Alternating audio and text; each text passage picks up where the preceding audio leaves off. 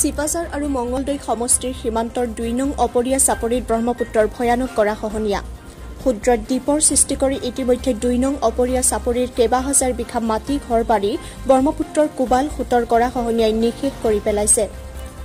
দুই নং অপৰীয়া নৈৰ বুকুত জাহকৈ অৱশিষ্ট এতিয়া নৈৰ বুকুত এডোখৰ শিলাখণ্ডত এটা মছজিদ আৰু এটা পৰিত্যক্ত সভাগৃহৰে এক ক্ষুদ্ৰ দ্বীপলৈ ৰূপান্তৰ হৈছে।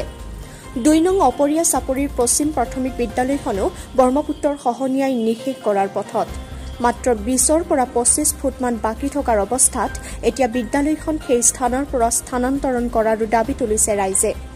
ইফালে এক নং অপৰীয়া চাপৰিৰ প্ৰতিও তীব্ৰ ভাবুকি কঢ়িয়াই আনিছে।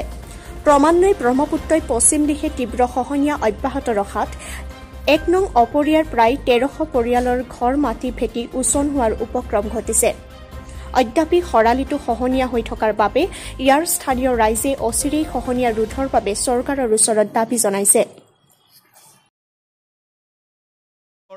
মঙললৈ বিধানসভা সমষ্টি আৰু চিপাঝাৰ বিভা বিধানসভা সমষ্টিৰ সীমামূৰীয়া এটা অঞ্চল দুই নম্বৰ অপৰীয়া আৰু এক নম্বৰ অপৰীয়া চাপৰি। এই দুই নম্বৰ অপৰীয়া চাপৰি ইতিমধ্যে ব্ৰহ্মপুত্ৰৰ কোবাল সোঁতে বিগত কেইবা বছৰ আগৰে পৰা গৰাখহনীয়া কবলত পৰি সম্পূৰ্ণ হাজাৰ হাজাৰ কৃষিভূমি শ শ মানুহৰ বসতিস্থল ইতিমধ্যে নিচ্ছিন্ন কৰিছে। আৰু অনাগত দিনত এই এক নম্বৰ অপৰীয়াৰ ফালে গতি কৰিছে ব্ৰহ্মপুত্ৰ কোবাল সোঁতে। আৰু এতিয়াও খৰালি মাহতো ব্ৰহ্মপুত্ৰ কোবাল সোঁতে গৰাখহনীয়া তীব্ৰ ৰূপ ধাৰণ কৰি আহিছে। আৰু এনে পৰিপ্ৰেক্ষিতত বৰ্তমান অপৰীয়া এক নম্বৰ অপৰীয়া আৰু ধলপুৰ অঞ্চললৈকে এই ব্ৰহ্মপুত্ৰ কোবাল সোঁতে গতি কৰিছে। এই ক্ষেত্ৰত আমি এই অঞ্চলৰ এগৰাকী বয়োজ্যেষ্ঠ ব্যক্তি আছে। আপুনি ইয়াত কিমান দিনৰ পৰা বসবাস কৰিছে? আৰু এই যে গৰাখহনীয়া আপোনালোকে কেতিয়াৰ পৰা দেখিছে? আৰু ইয়াত কেনেধৰণৰ গাঁও আছিলে আৰু কেনেধৰণৰ কৃষি ব্যৱস্থাটো আছিলে? ইয়াত মই বসবাস কৰা প্ৰায় ষাঠি বছৰমান হ'ল। বসবাস কৰা।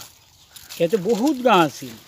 ইয়াতে সেই দুই নম্বৰ অপুৰীয়া শেষে হ'ল এতিয়া এক নম্বৰৰ ফালে। সেই আধা গ'লে আৰু। এতিয়া অলপ জেগা আছে অপুৰীয়াত এতিয়া ধৰকচোন ইয়াতে কমেও পোন্ধৰ বিছখান গাঁও আ, ব্ৰহ্মপুত্ৰ লৈ গ'ল। ইয়াতে বহুত স্কুল স্কুলো আছিল সেইবিলাকো গ'ল মছজিদ আছিল গ'ল। এতিয়া এই ব্ৰহ্মপুত্ৰৰ মাজত পাহাৰ এখন আছে। সেইটো এতিয়া দ্বীপৰ নিচিনা হ'ল। চাৰিওফালে নদীয়ে নদী তাত এখন মছজিদ আছে আৰু এখন অফিচ আছে। এখন ধন্যবাদ। আমি তেখেতৰ পৰা জানিলোঁ যে ইয়াত আচলতে হাজাৰ হাজাৰ বিঘা কৃষিভূমি ইয়াৰ বিনষ্ট হৈছে। আপোনাৰ কেমেৰাত দেখিবলৈ পাইছে যে এটা সৰু দ্বীপৰ নিচিনা সৃষ্টি হৈছে। আমি অন্যান্য দিশসমূহ অপৰিয়াৰ এই অঞ্চলৰ গৰাখহনীয়াৰ অন্যান্য দিশসমূহ আমি আপোনালোকৰ মাজত দাঙি ধৰিম পৰৱৰ্তী সময়ত। দুই নম্বৰ অপুৰীয়া এক নম্বৰ চাউল খোৱা দুই নম্বৰ চাউল খোৱা চব গৰাই খহাই লৈ গ'ল। ইতিমধ্যে আমাৰ স্কুললৈ আহি পালেহি। আমাৰ স্কুলৰ পৰা জাষ্ট বিছ ফুটমান ডিষ্টেঞ্চত গৰাই ব্ৰহ্মপুত্ৰ নদী আমাক বিদ্যালয়খন লওঁ যাওঁ যাওঁ অৱস্থা হৈ আছে। এই ক্ষেত্ৰত আমি বিবেক কৰ্তৃপক্ষলৈ গৈছিলোঁ সিহঁতক জাননী দিছোঁ। B O' office district D O' অফিচলৈ গৈছিলোঁ সিহঁতক জাননী দিছোঁ।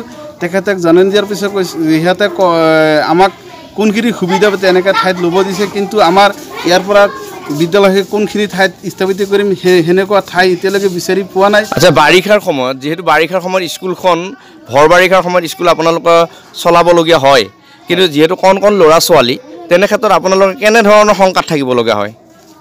বানপানী নিশ্চয় বানপানীৰ সময়ত আমাৰ ইয়াত বহুতখিনি মানে বানপানী আহিলে বহুত অসুবিধাত পৰোঁ। আমাৰ স্কুলৰ ভিতৰতো এক কঁকাল এক এ, এক গললৈকে পানী হৈ যায়। ইয়াত যিখিনি ডকুমেণ্টছখিনি থোৱা হয় স্কুলৰ লাগতিয়াল যোগাৰখিনি ইয়াতে ৰখা হয়। ক'বতো নোৱাৰি কেনেকৈ বানপানী কিমান লৈ হ'ব। ইতিমধ্যে যোৱা বছৰ যিটো দুহেজাৰ ঊনৈছলৈকে যিটো বানপানী হৈছে ডাঙৰ বানপানী হৈছে আমাৰ স্কুলৰ যিখিনি ডকুমেণ্টছ আছিলে তাৰ এইট্টি পাৰ্চেণ্ট ডেমেজ হৈ গৈছে অলৰেডি এইখিনি আকৌ পুনৰ নতুৰাই পুনৰাই আমাৰ বনাব লগা হৈছে আমাৰ সেয়া তাতে এটা অসুবিধা আছে ল'ৰা ছোৱালী ঘৰে ঘৰে থাকিব লগা নিজৰ যিখিনি স্কুলৰ ড্ৰেছ প্লাছ কিতাপ পাতি যিখিনি আছে সেইখিনিও ডেমেজ হৈ যায় কেতিয়াবা হেৰাই যায় বানপানী ভাহি লৈ যায় এনেকুৱা অসুবিধাত পৰি যাওঁ তাত।